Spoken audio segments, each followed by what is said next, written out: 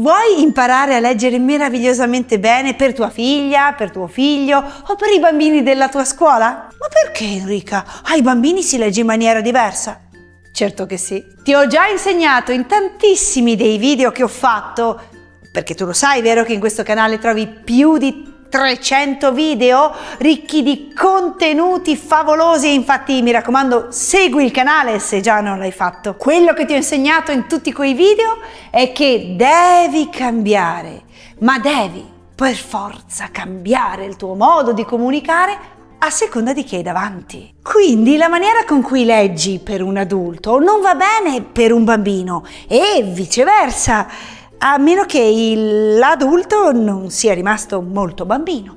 Eccoti i miei suggerimenti. Prima di tutto, ai bambini piace un mondo, una favola incredibilmente che si metta enfasi nella voce. Quindi gioca con i suoni della voce, osa, interpreta tutte le voci dei personaggi e mi raccomando, falle ben diverse le une dalle altre. E poi metti dentro il fisico.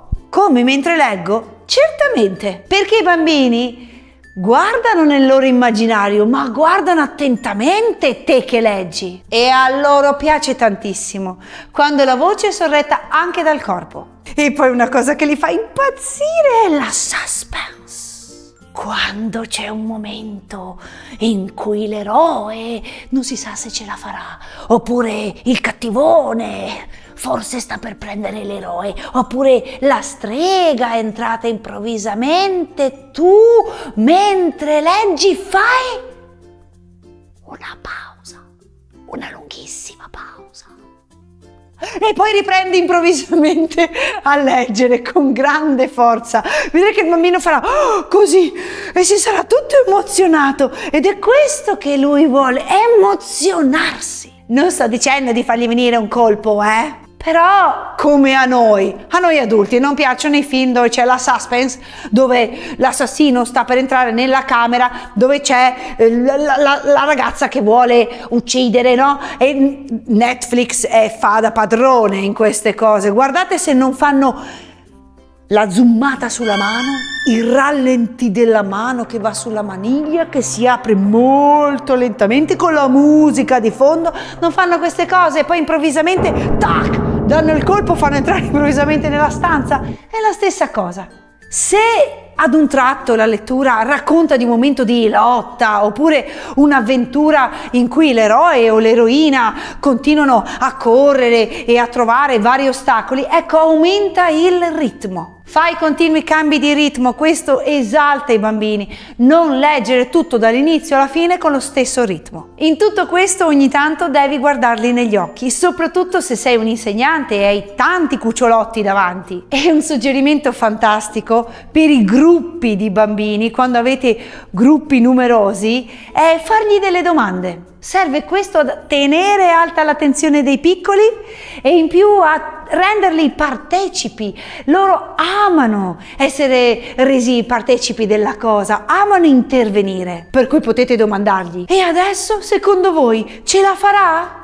Avete sentito qualcosa bambini? Avete sentito? Cosa pensate che potrà accadere in questo momento? Vedrete che risponderanno immediatamente, in tantissimi, perché rispetto agli adulti sono ancora così ricchi, spontanei, hanno voglia di partecipare. Un'altra cosa che potete aggiungere sono le esclamazioni, proprio dentro al testo, anche se il testo stesso non le riporta. Per esempio, ah, mamma mia, questa strada era veramente, veramente, veramente difficile e quindi anche reiterare la parola si aiuta l'immagine e l'emozione. Che brutto! Uh! Anche questo!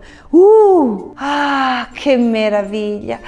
Ah, era veramente bellissima! Esagerate, divertitevi voi per primi che leggete. Pensate che tutto questo andrebbe fatto anche con i ragazzi delle medie del liceo, non in maniera così enfatica, chiaramente. Vi sto dicendo che anche un insegnante del liceo, quando spiega magari un argomento di storia, dovrebbe metterci carica ed entusiasmo, perché alla fine, anche se è un avvenimento storico, pur sempre una storia è. Ricordo ancora mio figlio quando tornò a casa entusiasta dalla quarta elementare mi sembra, in quarta elementare avevano fatto Alessandro Magno e la maestra deve averglielo spiegato davvero con grande enfasi ed entusiasmo perché lui tornò a raccontarmi di Alessandro Magno, del cavallo di Alessandro, di quanto Alessandro era forte e coraggioso.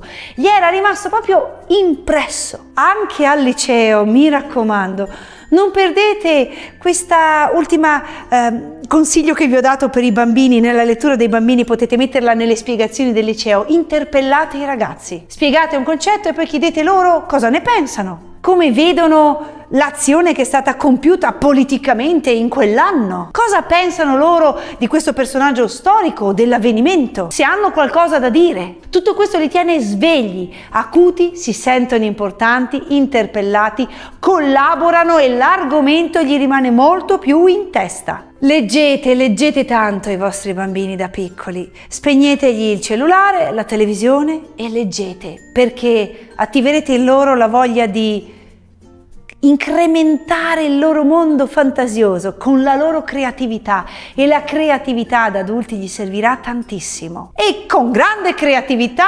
immaginazione, fantasia e gioia metti like al video, segui il canale e condividilo con gli amici.